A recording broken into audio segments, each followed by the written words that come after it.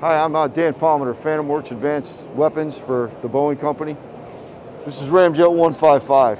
This is our offering for the next generation artillery projectile. This is this uses solid fuel ramjet technology, which is much different than anything in the current Army munitions inventory. What makes Ramjet 155 so different is it does not require oxygen on board to fly. It's what we call an air breather.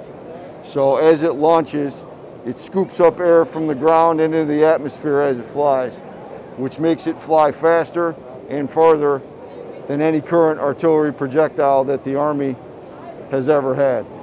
There's basically three pillars of it. Ignition, full motor burn, and thrust. So once it launches and hits apogee, the canards deploy, it locks onto its target. It's compatible with all the current cannons in the 155 cannons in the Army fleet, and it's also compatible with the future L-58 extended range cannon artillery fleet. We're currently in a development contract on this with the Armament Center, Picatinny Arsenal. We are continuing to mature it and preparing to demonstrate the capability to the Army next year.